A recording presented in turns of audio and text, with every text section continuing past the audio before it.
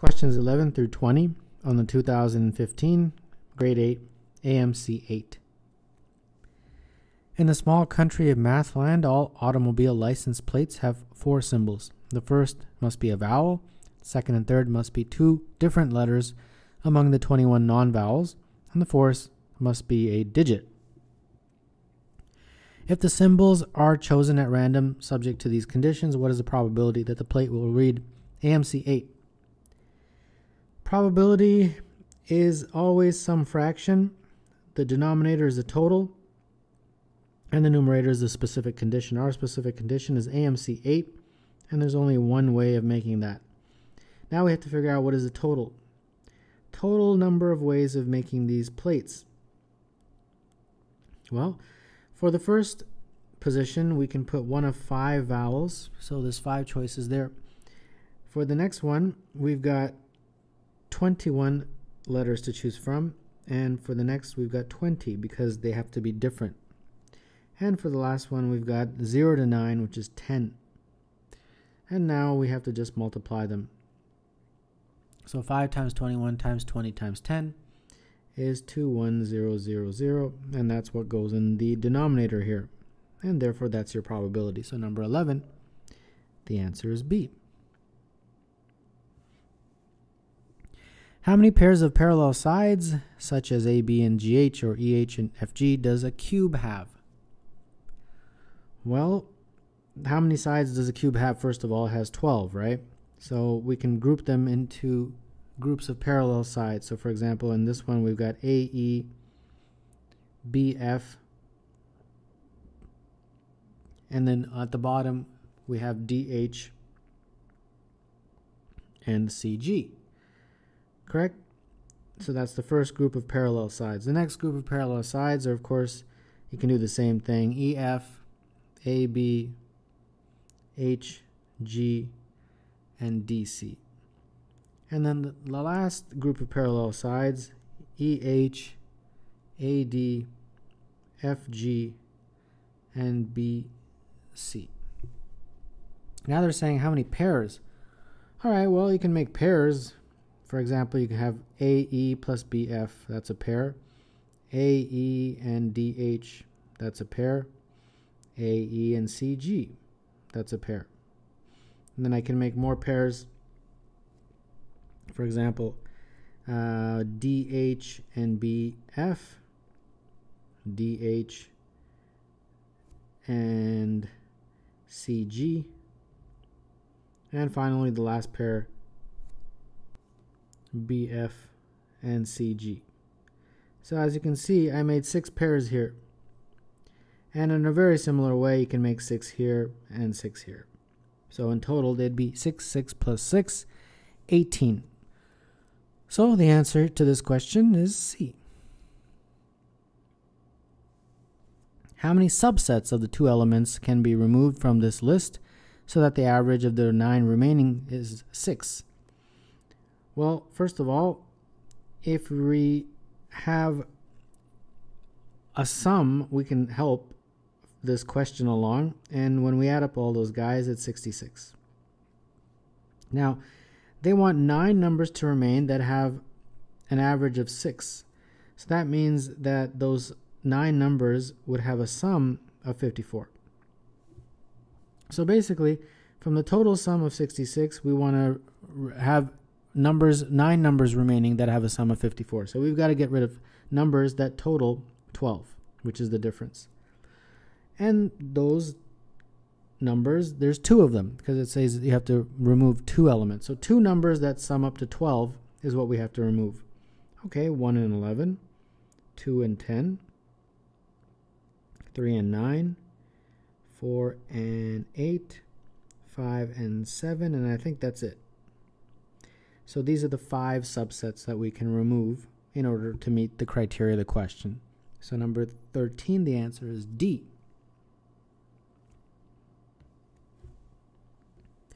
Which of the following integers cannot be written as the sum of four consecutive odd integers?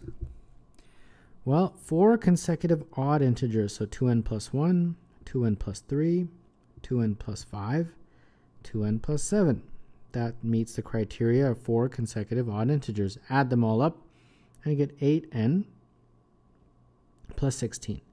Factor out an 8 and we get n plus 2. So basically, four consecutive odd integers, when you add them up, they are going to be a multiple of 8.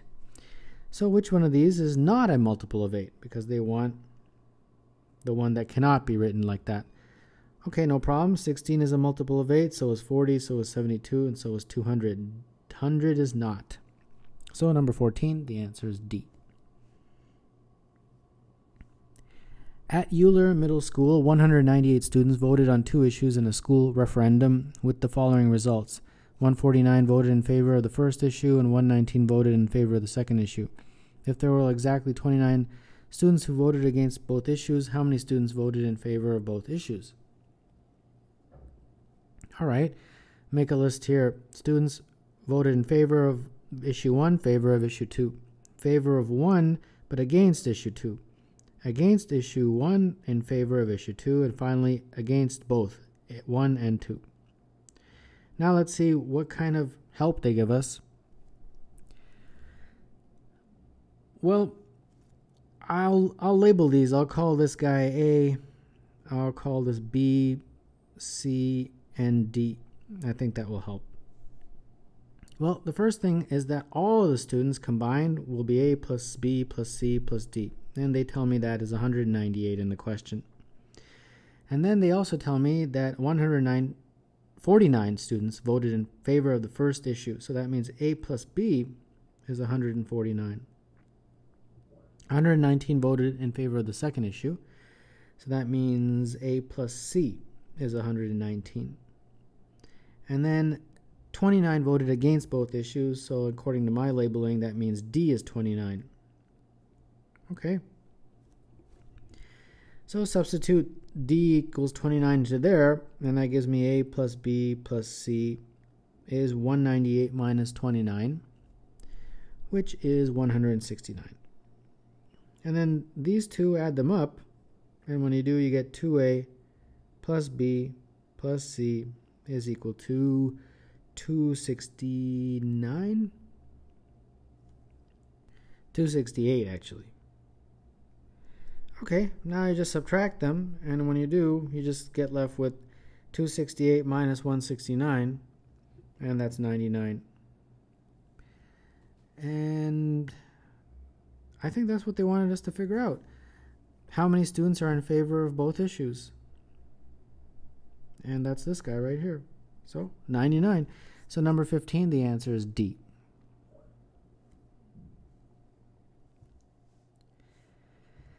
In a middle school mentoring program, the number of sixth graders are paired with a ninth grade student as a buddy. No ninth grader is assigned more than one sixth grade buddy.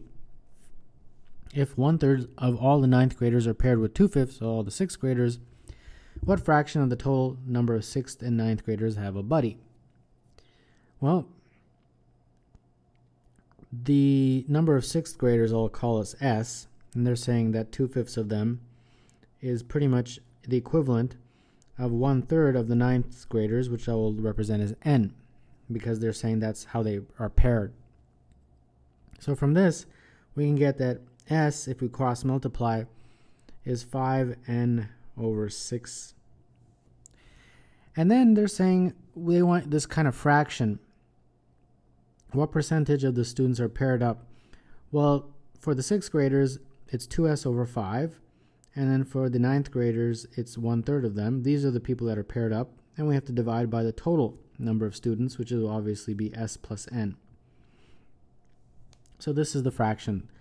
Well, this is equivalent to that. So instead of putting 2s over 5, I can just put 1 third n and then in the 1 third n. And then the s is 5n over 6.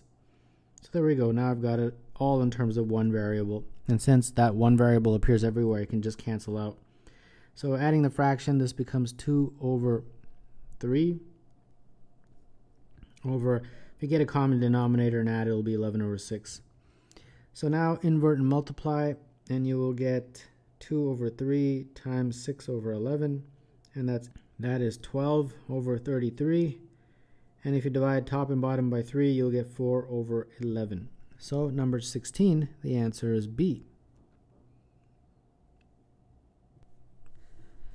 Jeremy's father drives him to school in rush hour traffic in 20 minutes. One day there is no traffic, so his father can drive 18 miles per hour faster and gets him to school in 12 minutes. How far in miles is it to school?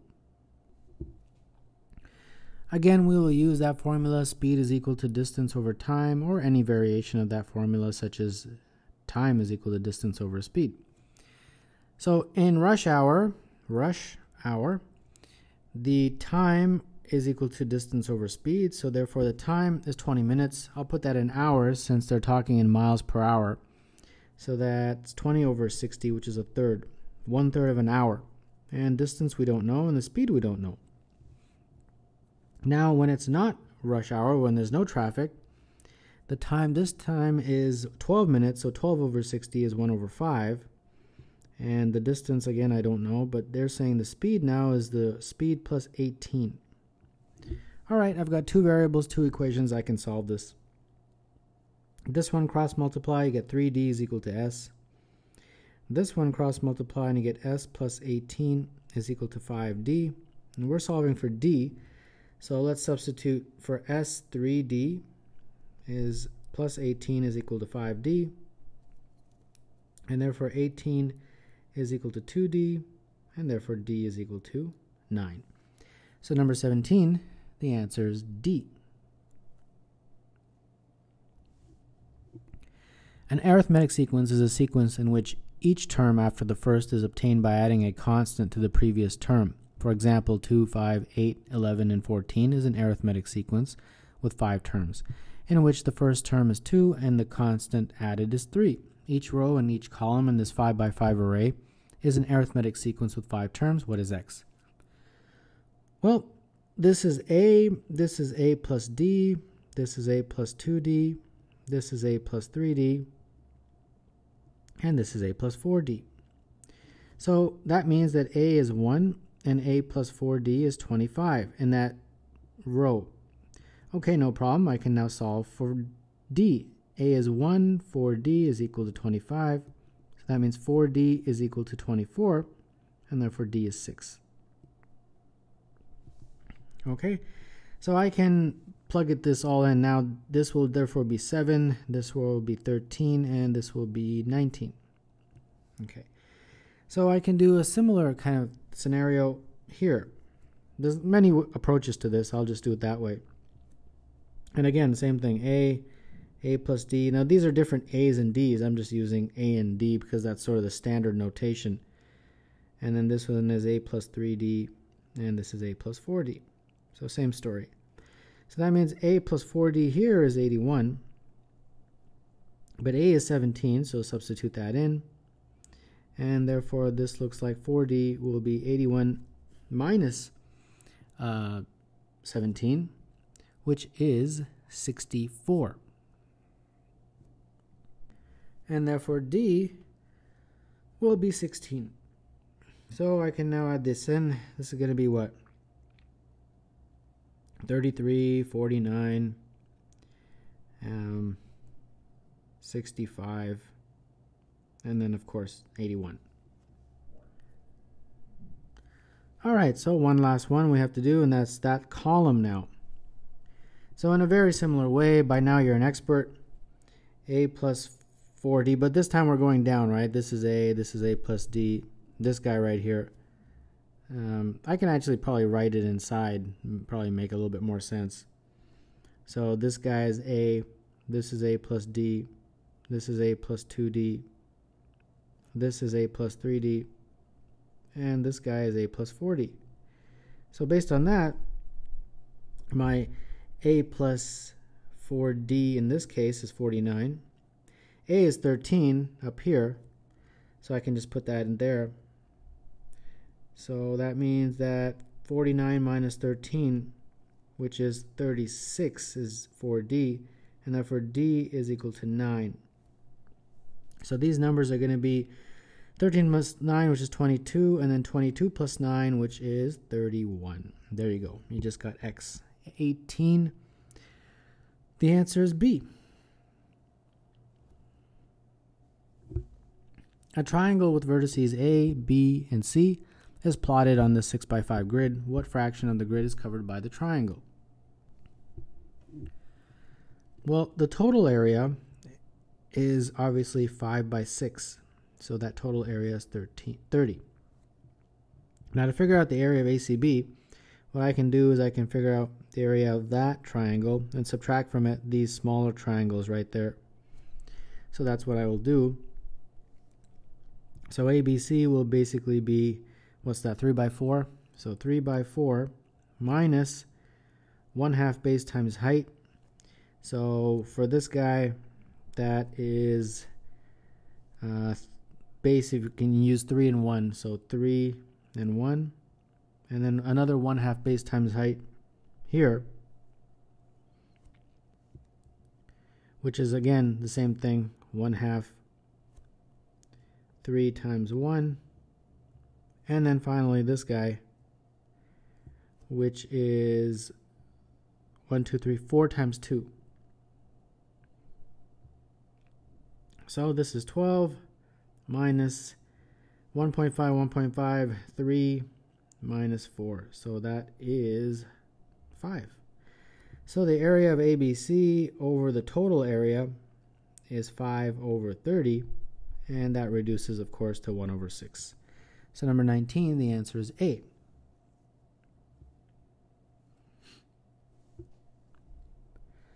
Ralph went to the store and bought 12 pairs of socks for a total of $24. Some of the socks he bought cost a dollar, some cost $3 a pair, some cost $4 a pair. If he bought at least one pair of each type, how many pairs of $1 socks did he buy? So X, Y, and Z is what I'll call the $1 pairs, the $3 pairs, and the $4 pairs.